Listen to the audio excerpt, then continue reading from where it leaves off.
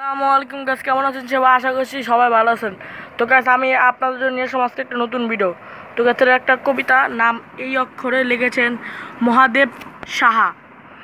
এই অক্ষর যেন নির্জর ছুটে চলে অবিরাম, যেন কিছু তারা দিচ্ছে পাহাড় আকাশেতে লিখে নাম। অক্ষরগুলি চাইমুখী তুলি, অন্তরে জাগে গান। শিখি তার কাছে অজানা যা আছে, আনন্দে ভরে প্রাণ। এই অক্ষরে মাকে মনে পড়ে, মনে হয় মনে হয় যায় নদী। আর কিছু তাই পাই বা না পাই, চিঠিখানা পাই যদি। সেই উপমায় মন ভরে যায় দেখি অপরূপ ছবি।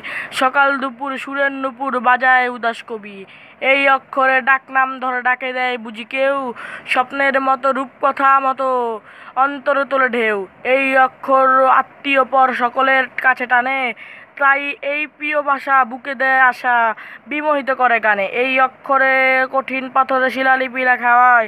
এই ভাষা দিয়ে গান লিখে নিয়ে যুদ্ধ করেছি জয়। তো গাইস আমাদের ভিডিও ভালো লাগলে অবশ্যই লাইক কমেন্ট শেয়ার আর সাবস্ক্রাইব করতে কিন্তু ভুলবেন না। টাটা।